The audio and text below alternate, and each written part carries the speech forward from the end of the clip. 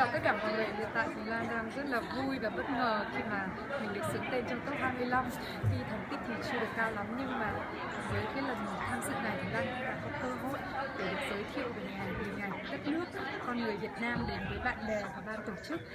Và Lan cũng rất là vui và cảm ơn sự ủng hộ của tinh thần của tất cả những người dân Việt Nam tại quê nhà.